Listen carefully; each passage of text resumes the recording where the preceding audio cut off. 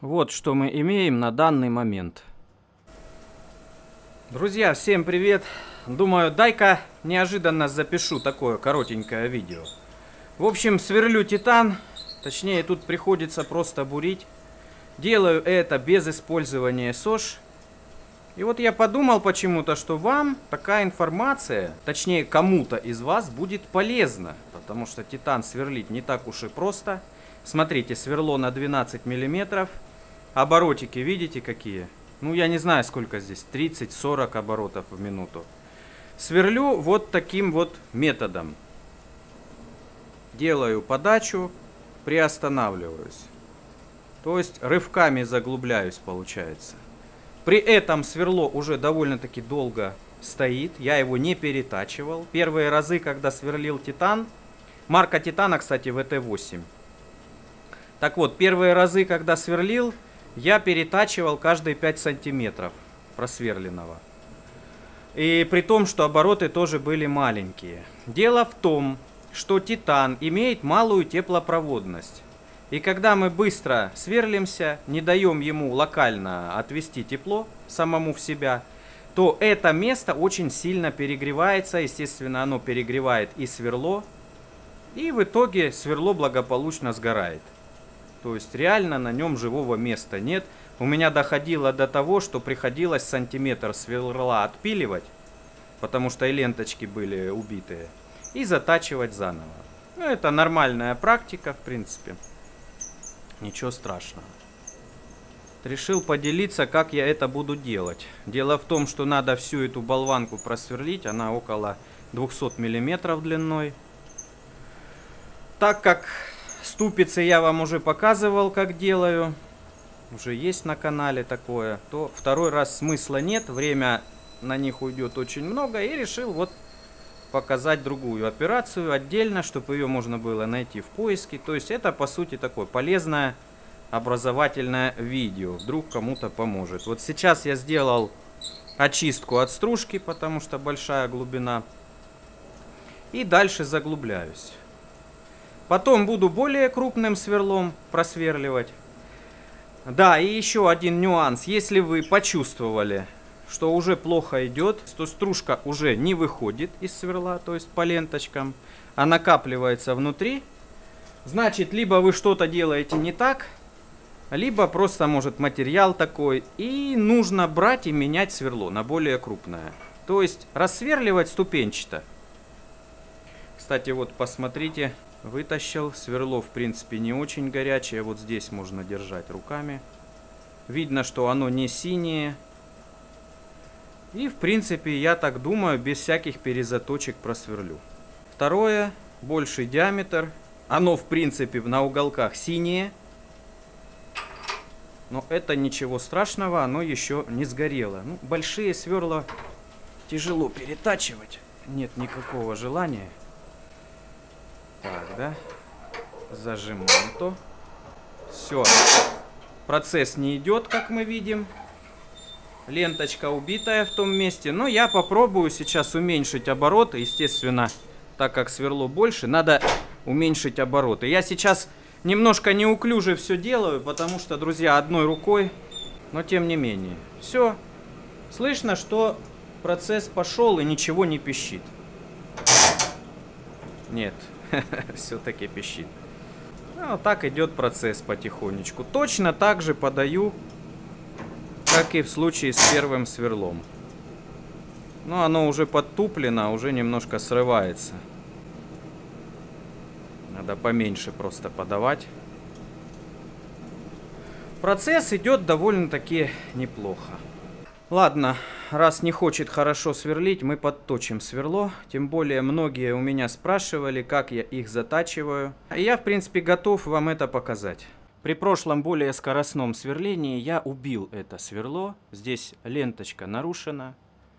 И надо отрезать кусок сверла, чтобы по-нормальному потом все заточить.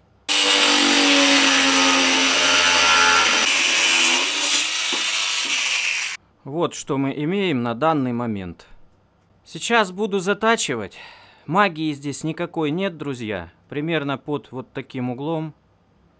Кто-то говорит, для титана надо под 45 градусов. Ну, я не знаю, что это изменит. Я думаю, особо это ничего не изменит в моем случае. Главное, что я отрезал кусок, где были убиты ленточки, то есть это вот эта часть. И теперь сверло не будет в этом месте закусывать и перегреваться, потому что, еще раз повторяюсь, об титана, ну, перегревается, ну, очень, очень сильно. Самый главный совет в этом деле, который я вам могу дать, это сверлить сразу много сверл. То есть вы берете пачку, берете какой-нибудь образец, как бы вы хотели, чтобы получалось. Например, нового, дорогущего, остро заточенного, качественного сверла. И можете как бы скопировать эти углы, запомнить настоящем камне. А затем берете и повторяете то же самое на всех остальных сверлах.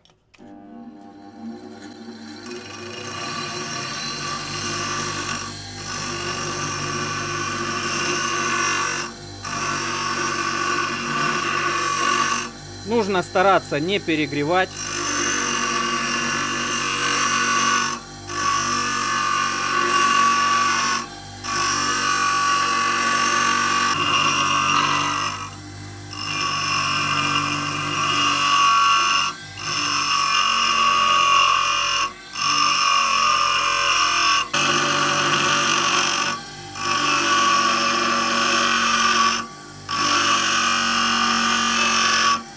Как видим, я перегреваю сверло. Ну, я в этом проблемы не вижу.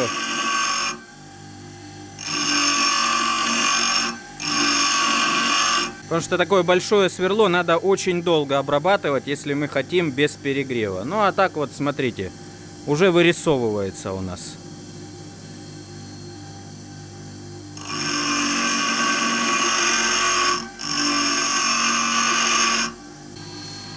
Угол получается немножко больше, чем у эталонного сверла.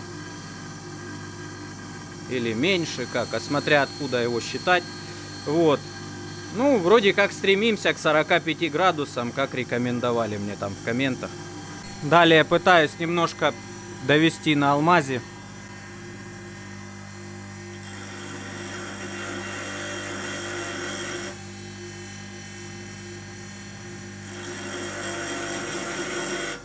Сам алмазный диск у меня кривой, поэтому приходится такие движения делать, иначе все с шишками будет. Вот этот угол стараюсь сильно большим не делать.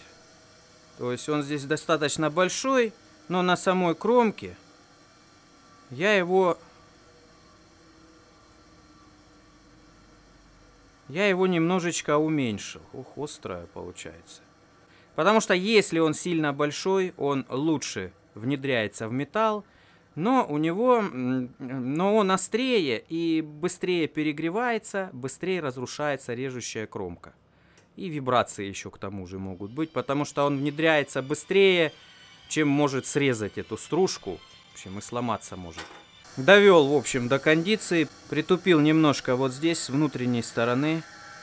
То есть здесь как бы угол у меня уже не такой, а вот такой получается ну, на малом промежутке. И вот этот угол у меня по стандарту, не знаю, как-то говорят, чтобы 45 что ли градусов он был. Ну, я не знаю, я вот делаю по сути как получится, друзья.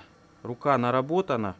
Ну, как-то так, сумбурненько. Это мой опыт всего лишь, ребята. Вы просили показать, как я их затачиваю. Вот так я их и затачиваю. Всегда затачиваю огромной пачкой. Потому что сверле на пятом уже вырабатывается автоматизм, руки как по рельсам ходят.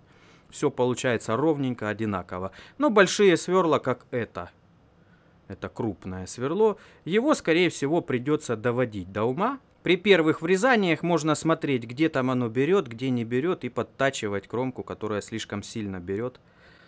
Вот, уравновешивать две кромки. Так что запоминайте, ребята, если вклинивает сверло, надо отрезать кусок сверла. Скорее всего, убита ленточка. Погнали. Оборотики маленькие. Надеюсь, не опозориться. Бывают сверла очень слабые в этой части и по-любому вибрируют от большой нагрузки, как их не затачивая. Ну, то есть, если мы рассверливаем, нагрузка довольно-таки большая. на кручение. И, соответственно, сверло вибрирует. Так, началась движуха. Все, сверлит очень легко, ребята. Берет, похоже, одной кромкой.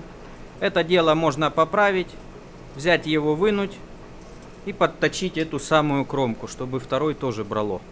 Блин, так хорошо заточил, не хочется затупить теперь его об титан. Надо бы сош подавать, но я сош не подаю, друзья. Это чисто мой такой прикол. Делаю это неправильно, сверлить обязательно сош надо. Так и ленточки меньше убиваются, нет перегрева сверла, но не люблю я сош. Еще не было ни одного случая, чтобы я не смог просверлить без сош. А отрезаю сверло из-за убитой ленточки я где-то в пятый раз за всю жизнь. То есть не так часто они у меня убиваются. Ну что, процесс идет вот так. Идет вращение. Тут хоть так, хоть плавно, как-то сейчас нормально идет. Сверление подходит к финишу. Уже практически заглубил все сверло. Три замены было, то есть маленькое сверло, большое, маленькое, большое, и вот опять маленькое. Все так же сверлю вот такими рывковыми движениями. Связано это с малыми оборотами, по всей видимости. Я подаю, оно срезает слой и дальше подаю, опять срезает слой. Так, слой за слоем идет процесс. Если медленно как-то подавать, оно затирает, что ли, не знаю. У меня на этом все, ребята. Кому было интересно, подписывайтесь на канал, поддержите лайком. Раньше я часто снимал такие подобные видосики, но вот сейчас что-то как-то боюсь, что ли. Канал миллионник и вот такую простоту снимать, что-то такое обыденное, уже не хочется. Но попробовал, посмотрим, что из этого получится. Жду в комментах вас.